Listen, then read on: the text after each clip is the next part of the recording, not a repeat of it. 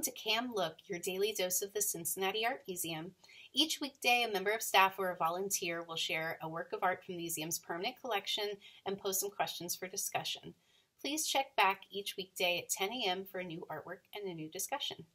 My name is Alex Otte Callon, and I'm the coordinator for the Rosenthal Education Center. Today, I'd like to share a really important work in the Cincinnati Art Museum's collection, a Songye power figure, also known as an Inkishi. Let's take a look. Large-scale power figures such as this example were central to the life of Songye communities spread over a vast territory in East Central Democratic Republic of the Congo. Acting as intermediaries between ancestral spirits and the living, Inkishi were intended to benefit the entire community and were not the property of a single person. The creation of an Inkishi was a public event that brought together the community, a skilled carver, and an experienced spiritual healer known as an Inganga. Chiefs and elders commissioned the Inkishi, and the community was responsible for cutting the tree selected for the carving. Both the carver and the Inganga had to be well established in their respective professions. The Inganga decided on the Inkishi's features and type of wood to be used, and often selected the type of wood used for its curative or toxic properties, or for being associated with specific ancestral reasons. Once the carver had shaped the wooden form, the Inganga assembled the bishimba, which is the powerful matter made of animal, plant, and mineral substances placed in or on the wooden figure.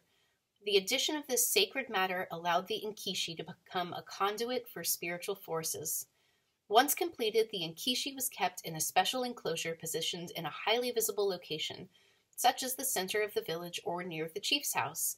It was cared for by a guardian who also served as an interpreter for the Inkishi, whose messages were received through dreams or spiritual possession.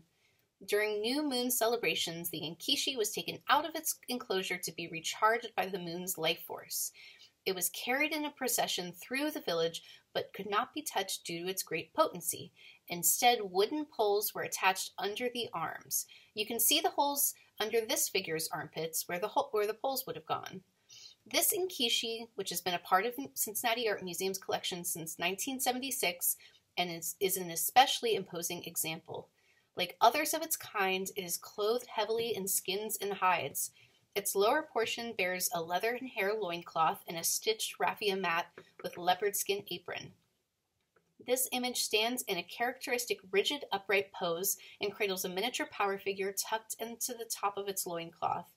Other elements of adornment, such as the skin clothing, metal nails and spikes, and the black antelope horn headdress, also adds power to the figure and enhances its protective function. I can't say for certain, but it is also very likely that there are more bishimba, or powerful medicinal materials, placed inside of the inkishi. While this particular inkishi is not currently on view at the museum, likely due to the fragile nature of its adornment, you can view two other inkishi in Gallery 103 I don't know how this important spiritual vessel ended up at the Cincinnati Art Museum, but I feel very honored to have the opportunity to view and learn about such an important and significant cultural object. The question I'd like to pose today is What's an object in your community that holds great importance and power? What gives it its significance? Please comment below. I'd also like to thank Yaëlle Biro from the Metropolitan Museum of Art for her excellent article on the Met website that gave me much of my information about the Inkishi. Thanks and see you next time.